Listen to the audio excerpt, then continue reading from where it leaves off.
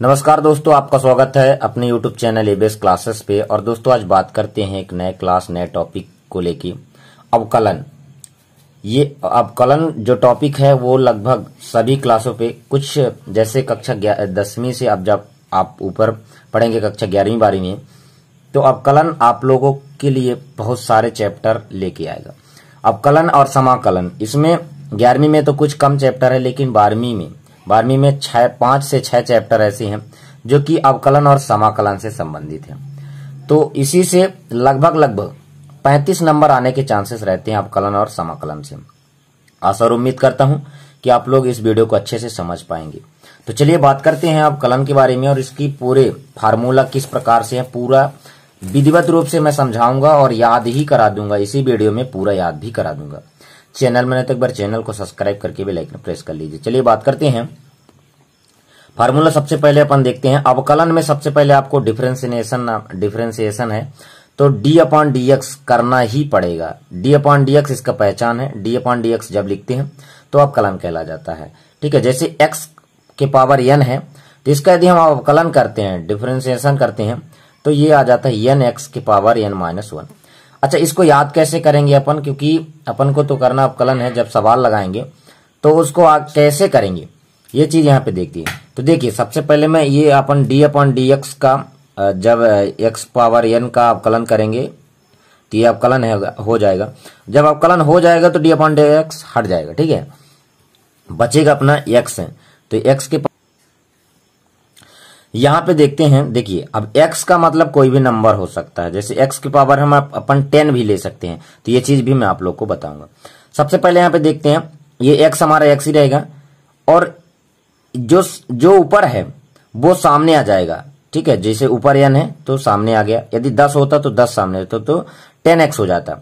और यन जो रहेगा यन में एक माइनस कर देना है तो यन माइनस वन हो जाएगा। जैसे एग्ज़ाम्पल के तौर पे आपको मैं दिखाता हूँ। एग्ज़ाम्पल के तौर पे अपन सबसे पहले यहाँ पे समझते हैं, ठीक है, कि मान लीजिए यन की पावर यदि अपन के टेन है तो इसका अवकलन करना तो डी अपॉन डी एक्स करेंगे, और देखेंगे तो ये एन हो जाएगा, और टेन पावर में है तो ये टेन के माइनस वन हो जाएगा, और जो टेन हमारा था, वो सामने आ जाएगा तो इसका क्या हो जाएगा एक्स यहाँ पे हो जाएगा, ठीक है तो ये हो जाएगा टेन एक्स के पावर नाइन ये अवकलन हो जाएगा किसका, ठीक है एक्स के पावर टेन का। इस प्रकार से उसी प्रकार से ये सूत्र अपना है। तो इस सूत्र को अपन याद कर लेंगे ताकि हम उस प्रकार से निकाल सके छोटे छोटे सवालों को भी हल कर सकते हैं। रही बात दूसरा यहाँ पे अवकलन में।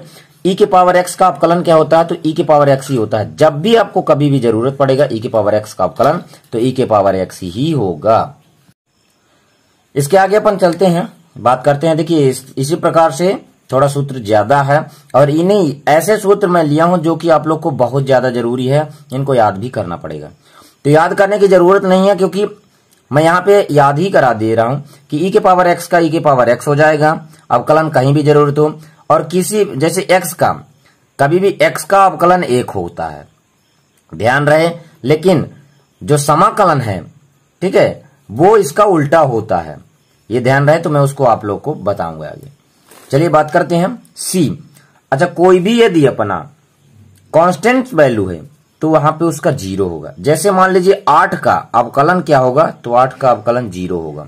कोई भी संख्या है तो उसका जो अवकलन है वो ज़ीरो होगा। ठीक है? ध्यान रहे। चलिए अब अप, अपने रोल पे उतर आते हैं साइन एक्स कॉस एक्स जो कि मेन है। तो साइन एक्स का अवकलन यदि होता है तो इसका जस्ट उल्टा हो जाता है कॉस एक्स ध्यान रहे।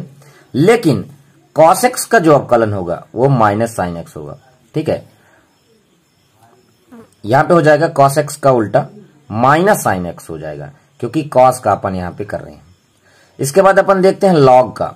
अच्छा लॉग वाला अपना बाद में देखेंगे। पहले यहाँ पे देखते हैं टेन एक्स एक साइड से। Sine cos tan cot sec cosec तो टेन टेन एक्स का देखते हैं तो अवकलन होगा सेक स्क्वायर एक्स क्योंकि टेन के बाद कॉट आता है, फिर सेक आता है तो इस प्रकार से याद कर सकते हो सेक स्क्वायर एक्स और कॉट एक्स का यदि करते हैं कॉट एक्स का तो माइनस कॉसेक स्क्वायर एक्स होता है, ठीक है? ध्यान दें। इसके बाद अपन देखते हैं सेक एक्स का तो सेक एक्स का होता है सेक एक्स टेन एक्स अब देख लीजिए, यहाँ पे याद कर सकते कि टेन का सेक से संबंध था तो यहाँ पे सेक का टेन से तो सेक एक्स का सेक एक्स टेन एक्स और कौशिक एक्स का, यहाँ पे देख सकते हैं कॉट का कौशिक स्क्वायर एक्स था तो उसी प्रकार से कौशिक एक्स का हो जाएगा minus cosec X cot X ठीक है? ये हो जाएगा। अब यहाँ पे देखते हैं। अब यदि कोई भी नंबर यदि जैसे मान लीजिए यू लिया है और भी दोनों यदि गुड़े में है तो इन दोनों को जोड़ दिया जाता है, ठीक है? तो यू सामने आएगा तो भी एक बार अवकलन होगा भी का, और भी सामने आएगा तो यू का अवकलन हो जाएगा, ठीक है? इसके बाद यहाँ पे देखते हैं। लॉग का ए की पावर एक्स का यदि करते हैं तो ए की पावर एक्स का ए की पावर एक्स लॉग ए हो जाएगा, क्योंकि ए ही होना चाहिए, दूसरा यहाँ पे नंबर नहीं होगा। ठीक है यू अपॉन भी का यदि होगा तो ये बटे में हो जाएगा। तो ये ज़्यादा याद करने की ज़रूरत नहीं है। इसके बाद यहाँ पे देखते हैं। तो यहाँ पे जो ये है, ये भाग का है, ये गुड़े का है। जैसे दो दो नंबर तो यहाँ पे गुड़ा का है। ठीक है? भाग में थोड़ा सा अंतर ये है कि सबसे पहले हर का हम, हर को सामने लिखते हैं तो अंश का अवकलन करते हैं, फिर माइनस करके अंश का जो सब यहाँ पे अच्छा लिखेंगे तो हर का अवकलन करेंगे। बटे, पूरे के बटे भी स्क्वायर हो जाएगा, ठीक है? यहाँ पे लॉग का देख लेते हैं तो लॉग वाला जो था लॉग एक्स कह दिया, अपन कहीं पे अवकलन आएगा D upon D X log X रहेगा तो वन अपॉन एक्स हो जाएगा, सीधी तौर पे। तो ये यहाँ पे एक और इसको देख सकते हैं कि यदि अपन डी अपॉन डी एक्स किसका करते हैं? ई e के पावर ए एक्स का करते हैं तो ए सामने आ जाएगा और ई e के पावर ए एक्स ही हो जाएगा, ठीक है? e की पावर माइनस ए एक्स का करते हैं तो माइनस सामने आएगा और ए और ई की पावर माइनस ए हो जाएगा। इस प्रकार से यहाँ तक हो गया। इसके आगे चलते यदि अपन को इन्वर्स वाला देखना है तो उसके तौर पे क्या करेंगे? क्लास इलेवंथ वालों को थोड़ा सा डिफ़िकल्ट लग रहा होगा, लेकिन ट्वेल्थ वाले इस चीज़ को पढ़ चुके हैं इलेवंथ में। तो इलेवंथ वालों को पढ़ना ही पड़ेगा, ताकि ट्वेल्थ में भी काम देगा और इलेवंथ में भी काम देगा। लेकिन ट्वेल्थ वाले पढ़ चुके होंगे, आशा करता हूँ यदि नहीं पढ़े होंगे तो उनको पढ़ना ही पड़ेगा तो इसको पढ़ लीजिएगा। D upon D X sine inverse X अभी तो साइन एक्स पढ़े थे, अब साइन इनवर्स एक्स करेंगे, ठीक है? यहाँ पे हो जाएगा, सभी में एक्स रहेगा। तो साइन इनवर्स एक्स का हो जाएगा one upon root over one minus X square ठीक है? और यदि कॉस इनवर्स एक्स का करते हैं तो वही चीज़ माइनस में हो जाएगा। उसी प्रकार से टेन इनवर्स का यदि करते हैं तो one upon one plus X square हो जाएगा। और कॉट इनवर्स एक्स का करते हैं तो माइनस में वही चीज़ हो जाएगा। सेक इनवर्स एक्स का करते हैं तो वही चीज़ माइनस में होगा। वन अपॉन एक्स की power X square minus one over root और यहाँ पे कॉशेक स्क्वायर एक्स का यदि करते हैं तो वन अपॉन एक्स के over root X square minus one करते हैं। ठीक है? तो यहाँ पे उल्टा हो जाएगा कॉस का माइनस होगा तो कॉस एक का प्लस होगा। लेकिन टेन का प्लस और कॉट का माइनस और साइन का प्लस होगा तो कॉस का माइनस हो जाएगा। तो इस प्रकार से ये जो कुछ सूत्र थे, आप लोग के लिए ये कंप्लीट यहाँ पे मैं कर चुका हूँ। तो आप लोग देख लीजिएगा। बिल्कुल। और वीडियो अच्छा लगे तो एक बार ज़रूर शेयर कर दीजिएगा। और यदि जो भी यदि समझ नहीं आता तो आप वीडियो को दोबारा देखिए ताकि आप लोग को पूरा क्लियर हो जाए। क्योंकि मैं आशा करता हूँ कि ये क्लियर कर दिया हूँ। और इससे भी और भी ज़्यादा यदि क्लियर करना होगा तो आप बता दीजिएगा। नेक्स्ट वीडियो में ज़रूर से, ज़रूर पूरा क्लियर कर दूँगा। जब आप कलन अपन पढ़ाएँगे तो इनको याद कर रहेंगे आप तो यूज़ आएगा और जब यूज़ आएगा तो वहाँ पे आप लोग को दिक्कत नहीं होगा।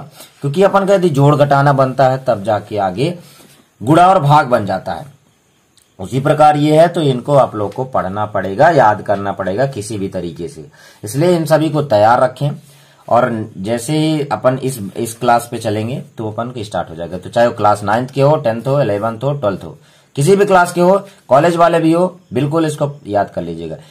तो वीडियो कैसा लगा, एक बार लाइक कर देना। चैनल में तो एक बार चैनल को सब्सक्राइब करके बेलाइकन प्रेस कर लीजिए। मिलते हैं नेक्स्ट वीडियो पे, तब तक के लिए जय हिंद बंदी मातरम।